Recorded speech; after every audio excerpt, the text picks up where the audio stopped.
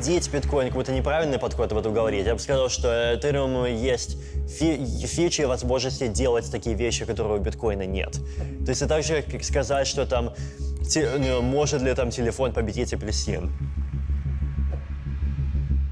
You're Vitalik Buterin in 2016, and you've just created Ethereum, the blockchain that's revolutionizing the internet and outperforming Bitcoin. You pioneer smart contracts with Ethereum. You create a successful decentralized app ecosystem. Most importantly, you spawn competition with Solana, Cardano, Sui, Polkadot, and Mommy token, aka Iggy Azalea's token, just to name a few. But then, poof, Ethereum breaks. Not the application itself, but Ethereum's leading project, something called the DAO. The DAO suffers a major hack, and $55 million in funds donated by Ethereum users is stolen. Imagine you just donated your life savings to a project you genuinely thought could improve humanity, and one person steals almost all of it. Moreover, this hacker brags that they stole from you. While Vitalik Buterin didn't create the DAO, it was Ethereum's top application. If Ethereum was Xbox, the DAO was Halo. Can you imagine Xbox without Halo? Not to mention, what made all this worse is that Vitalik Buterin made a controversial decision when handling the DAO hack. Vitalik directly involved himself after the hack, a big no-no in crypto, where everything is supposed to be as free from third-party intervention as possible.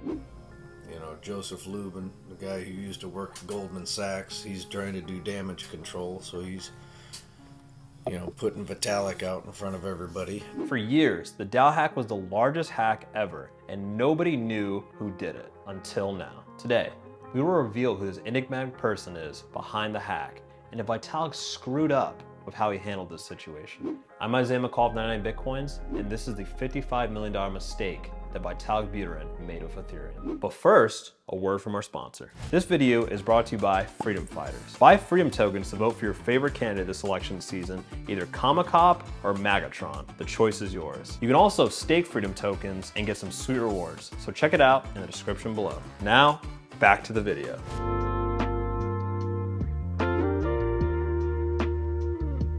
To hack the DAO, you needed three things. A sharp eye for glitches, insider connections, and a digital trail leading straight to you. Today, one man checks all three boxes. But first, let's rewind to 2016 when Ethereum was the undisputed king of the cryptocurrency market. If they had given MVP awards to cryptocurrencies, Ethereum would have won it from 2016 to 2020. Back in 2016, Ethereum outperformed every major crypto besides Bitcoin. And the DAO was Ethereum's crown jewel. DAO stands for Decentralized Autonomous Organizations, and the 2016 DAO was a decentralized venture fund controlled by investors. Anyone who held DAO tokens held the power to vote where to invest the entire fund. It was a hedge fund for normal people like you and me, not Wall Street elites. The DAO's funding hit $150 million, putting immense pressure on lead programmer Christoph Jentzsch. No one expected the DAO to be this freaking successful, but the entire Ethereum community was behind it.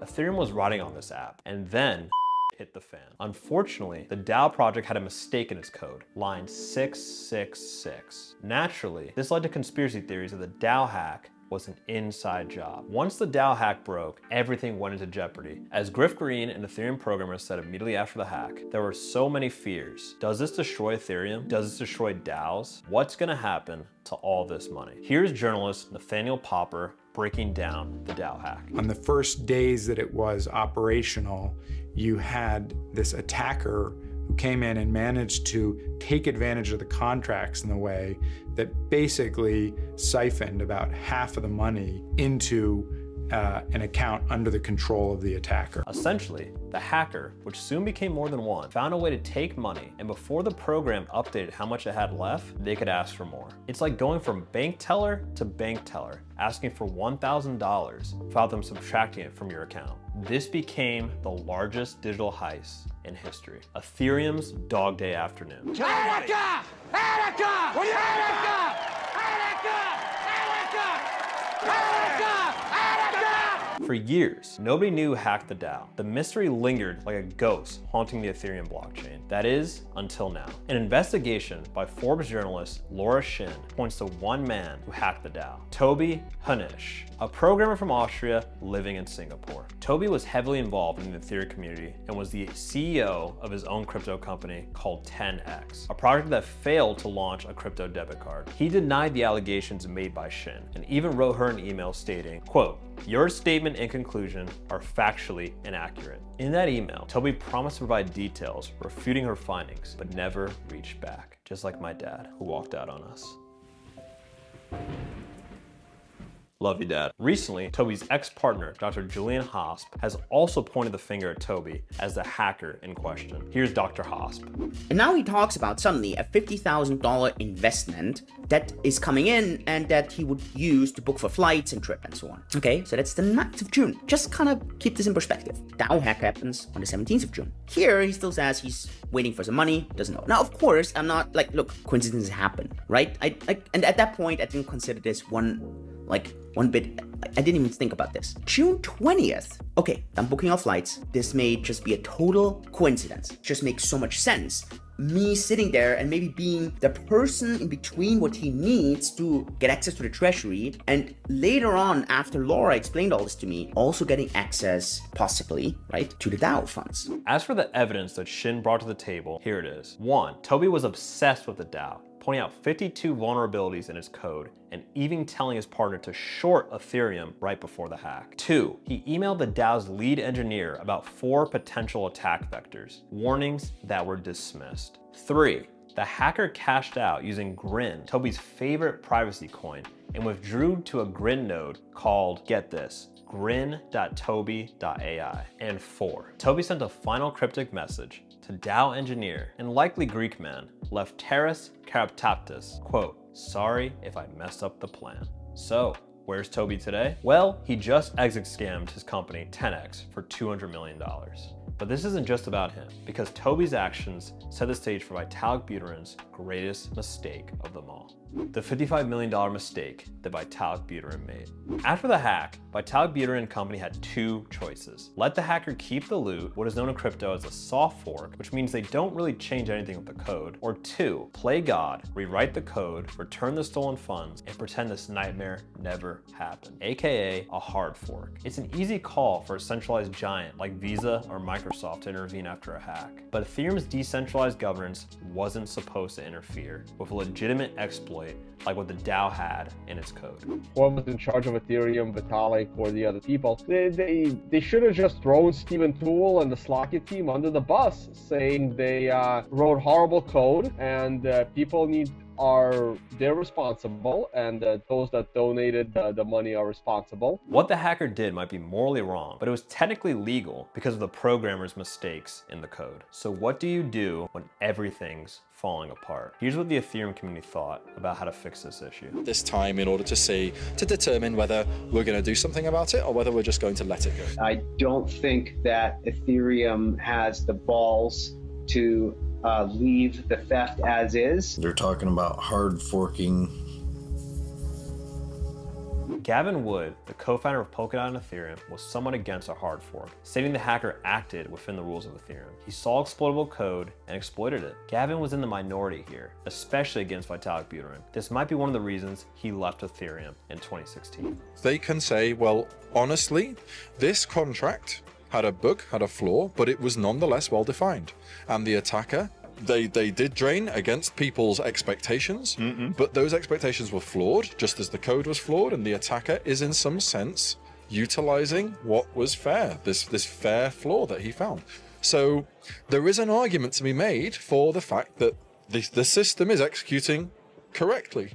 Now, of course, there's also the argument that, well, hold on, expectations, wide expectations, were that this contract was going to do this, and it doesn't do that. In an open letter to the DAO Ethereum community, the hacker claimed the reward was legal and threatened to sue anyone who tried to undo their work. Their menacing parting words were, I hope this event becomes a valuable learning experience for Ethereum. Best of luck. What a savage. The hacker had a point. It didn't help that Ethereum's official documentation says these applications will exist without any possibility of downtime, censorship, fraud, or third party interference. What's the point of having cryptocurrency if we still have the same centralization issues we're trying to escape from from corporate giants like Google, Visa, and Microsoft? In any case, they did it. Ethereum hard forked in the summer of 2016 under the influence of Vitalik Buterin. The funds were returned, but it also created a second cryptocurrency called Ethereum Classic, a chain with no bailout or intervention. Vitalik knew the more controversial option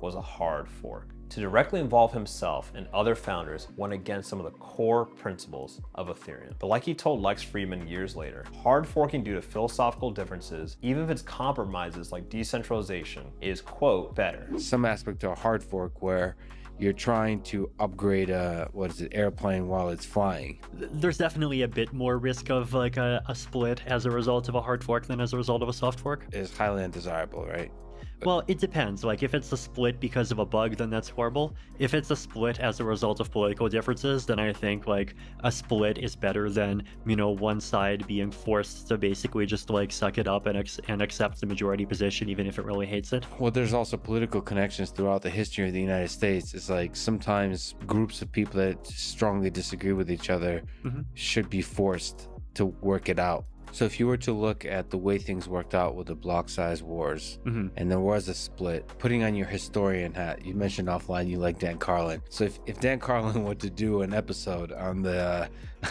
on the block size wars, uh, do you think uh, it could have turned out better, or do you um, are you mm. okay with the way it turned out? I'm definitely disappointed with what happened with the block with the the big block side.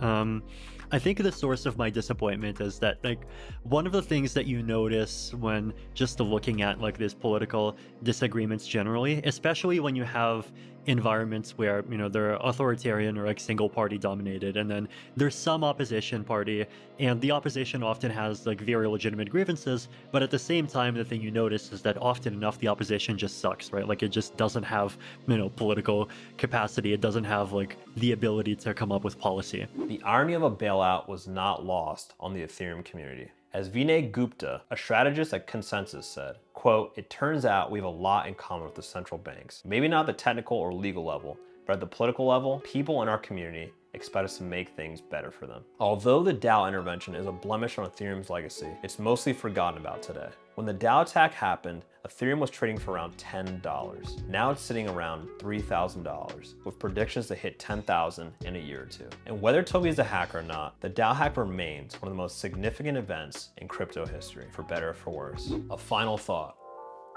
Maybe Ethereum's future is just too damn exciting to be derailed by one massive screw up. This was the only time a hack of this magnitude blindsided the ETH community. It was pretty much FTX before FTX. Ethereum was basically a roller coaster that went off the rails was way too much fun not to want to ride again. The community stands by it. They say the DAO hack intervention was a one-off. That being said, hacks against dApps still happen today, with nearly 2 billion stolen from crypto projects in 2024 without any intervention. When it comes to the DAO, most believe Vitalik and crew made the only call they could, the right one. As Cornell professor Gun Sirer, who led research after the DAO hack put it, Ethereum's community has been science-driven, open, and civil, a shining example for others. Moreover, if Ethereum continues in this direction, Vitalik sees it as the most dominant crypto in this space, even more successful than Bitcoin. So Ethereum in 2032, you have a node. Your node runs on your phone. Every uh, 12 seconds or 32 seconds or whatever number we uh, agree on, you download 3.6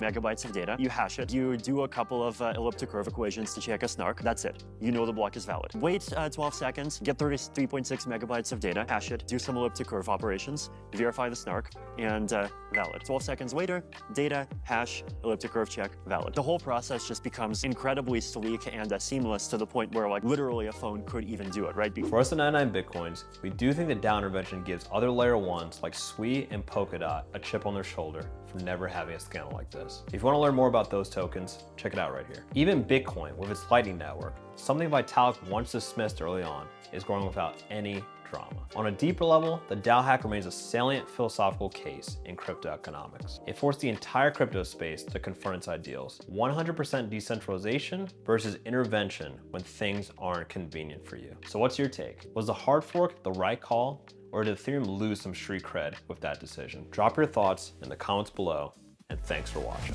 Hey guys, we're trying to bring a lot more long form, high quality videos like this to the channel. So if you like these, please comment down below, like and subscribe, let us know so we can keep these going and so my boss doesn't fire me. And if you want to check out more of the long form, high quality content we're trying to do, be sure to check out videos here, there. They're probably gonna pop up somewhere. So check those out. Have a good day.